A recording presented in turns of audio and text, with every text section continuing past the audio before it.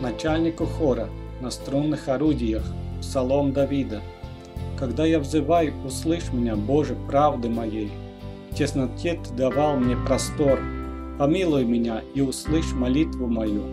Сыны мужей, доколе слава моя будет в поругании, доколе будете любить суету и искать лжи, знайте, что Господь отделил для себя святого своего. Господь слышит, когда я призываю Его. Гневаясь, не согрешайте, размыслите в сердцах ваших, на ложах ваших и утишитесь. Приносите жертвы правды и уповайте на Господа. Многие говорят, кто покажет нам благо, яви нам свет лица Твоего, Господи. Ты исполнил сердце мое весельем с того времени, как у них хлеб и вино умножились.